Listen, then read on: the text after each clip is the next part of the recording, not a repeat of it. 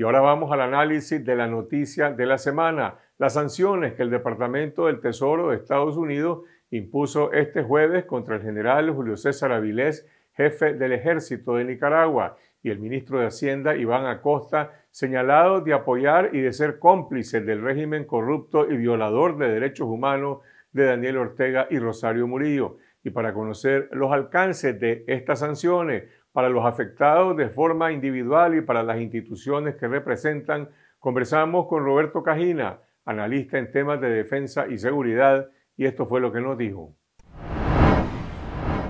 Roberto, Estados Unidos afirma que la sanción internacional contra el jefe del ejército tiene su raíz en la crisis de derechos humanos de Nicaragua eh, después de abril 2018 y en la negativa del general Avilés a desarmar a los paramilitares. Sin embargo, desde hace meses esta sanción estaba siendo advertida de distintas formas. El general Avilés estaba esperando ser sancionado o hizo algo para evitarlo e impedir que afectara al ejército.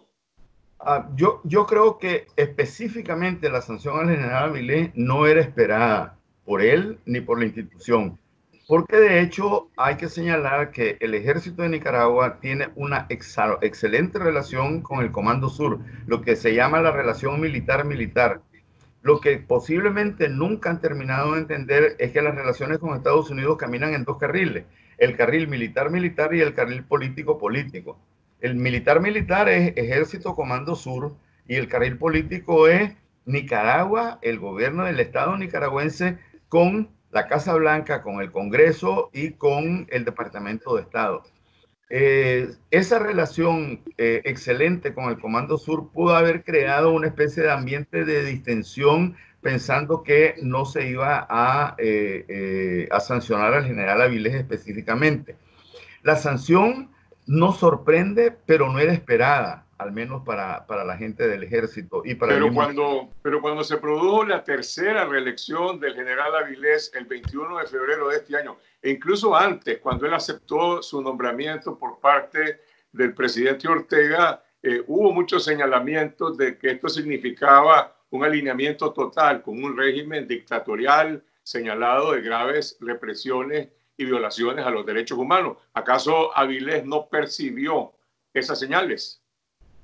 Ah, puede ser que las haya percibido, pero que las haya subestimado en alguna medida por lo que ya te dije antes, por la relación excelente militar-militar que existe entre el ejército de Nicaragua y el Comando Sur. Yo advertí de los riesgos que se podían o se correrían en, eh, por un tercer periodo del general Avilés en un artículo que escribí en la revista Envío de la UCA eh, creo que lo titularon eh, Nuevo Comandante Jefe o Cinco años más de lo mismo, o algo así. De, hecho, eh, era un problema que la institución posiblemente no vio a largo plazo los efectos que esto podía tener. Y creo que el tercer periodo decidido por Ortega y aceptado por el general Avilés fue una especie de catalizador para este resultado que estamos viendo en las sanciones del día de ayer. Esta es una sanción política, económica y financiera contra un individuo que dirige un ejército que por su naturaleza y su ley funciona de manera vertical. ¿Qué repercusión tiene para el ejército de Nicaragua como institución que su jefe, que su máxima autoridad esté siendo sancionada por el Tesoro de los Estados Unidos? Ah, habría que partir de algo. Aunque la sanción es individual a una persona, estas sanciones usualmente tienen lo que se llama un efecto derrame, lo que en inglés se llama spillover effect. Es decir, de la persona hay un derrame hacia la institución en la que trabaja o dirige esa persona. El caso, por ejemplo, de Hacienda, ya de Acosta, eso va a derramarse a toda la, estructura del Ministerio de Hacienda. En el caso del ejército, el derrame va a ser un poquito más, eh, digamos, menos complicado porque el ejército trabaja eh, de forma descentralizada todas las áreas. Eh, finanzas es administrada general, eh, básicamente por el director, el jefe de finanzas del ejército. Operaciones por el jefe de operaciones del ejército. El comandante jefe es la figura pública que puede contraer acuerdos, firmar documentos legales, etcétera. De carácter nacional, sí, pero también está impedido. Por ejemplo, las sanciones no afectan al Instituto de Previsión Social Militar. Pero el jefe del ejército es el presidente, el jefe del ejército ah. es el presidente del instituto. ¿Puedes mantener en ese cargo? No, yo creo que va a haber necesidad de reformar la ley 181 reformada y además el reglamento estatutario del IPCM. Pero además, fíjate que ya son tres personas sancionadas que son miembros de la Junta Directiva. Pues, eh, López del Seguro Social, eh, eh, Acosta de Hacienda y ahora el general Avilés. Entonces, de siete miembros que hay en la Junta Directiva, prácticamente quedan cuatro, incluyendo al director ejecutivo de la, del IPCM.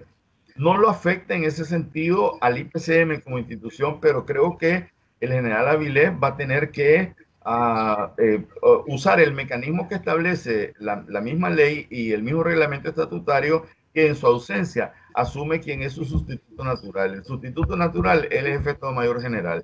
Y entonces el jefe de Estado Mayor General que no está sancionado es el quien va a asumir, digamos, la presidencia eh, de, de, no de hecho, sino de derecho. ¿Cómo repercute la sanción al jefe del ejército en el mando del ejército, en la institución, en el Consejo Militar.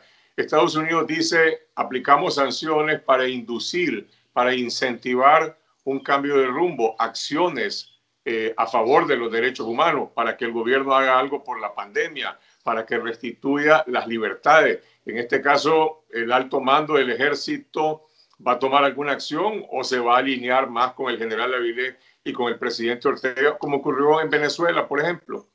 Hasta este momento no, hay ninguna reacción oficial del ejército ni del general Avilés como tal. Eh, lo que sí es que la sanción al general Avilés es, tiene varios mensajes. Hay un mensaje a él directamente, hay un mensaje al régimen de, Ortega, de los Ortega Murillo y hay un mensaje al ejército también. Al ejército porque además deja en vilo la posibilidad de una sanción a la institución como tal, lo cual yo lo veo muy lejano, no imposible, porque sabes que en términos de seguridad nunca se debe decir nunca. Eh, es decir, que nunca van a sancionar al ejército como sancionaron a la policía, pero es bastante lejano por una razón muy sencilla, por la relación militar-militar excelente que yo te he dicho que tiene el ejército de Nicaragua con el Comando Sur la decisión eh, de remover o de dejar al, general Avilés al frente del ejército es una, decisión que tiene que tomar no el Consejo Militar, sino que es el presidente de la República, que es el jefe supremo del ejército. Pero ese mensaje que le está enviando Ortega ya es claro. Y, pero el ejército, pero el ejército como institución tiene que estarse viendo en el espejo de seguir el rumbo de la Policía Nacional absolutamente desprestigiada como institución alineada al régimen como un aparato de represión o salvar, si es, si, si es que acaso es salvable su naturaleza como una institución nacional, que es un tema de debate entre el Consejo Militar, entre los militares.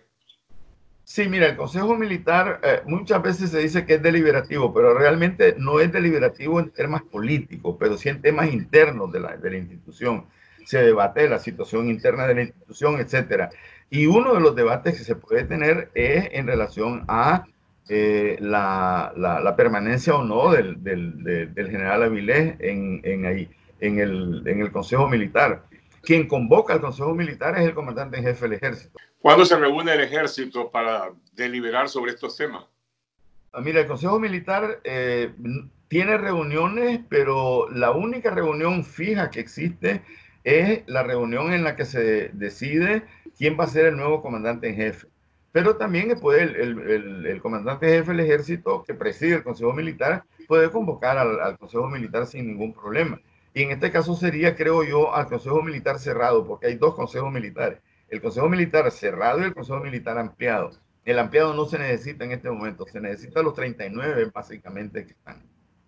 Pero operativamente, el mando del ejército se reúne todas las semanas para discutir los temas más importantes, supongo. Mira, desde los años 80 existe usualmente lo que normalmente se conoce en el ejército como la reunión de puntualización de los lunes. El tema que se aborda es el cumplimiento de el plan, de, el plan operativo de la semana anterior y el cumplimiento del, eh, perdón, y las nuevas, eh, eh, digamos, orientaciones sobre el plan operativo de la semana que está comenzando ese lunes es posible que en, la reunión de este próximo lunes eh, se aborde el tema. y quede relegado un poco el tema de, la, de, de las operaciones o del plan operativo de esta semana.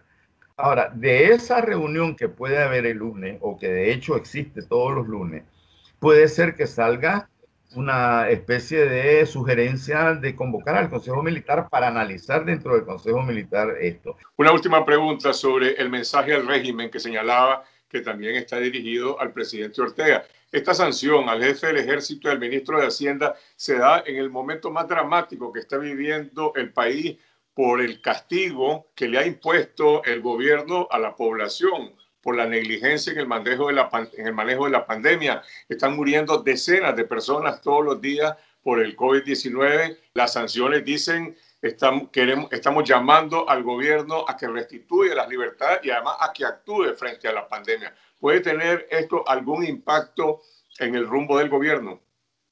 Mira, viendo cómo ha actuado el gobierno, el régimen Ortega Murillo hasta hoy, evidentemente que eh, es casi como pedir un milagro que cambien de rumbo.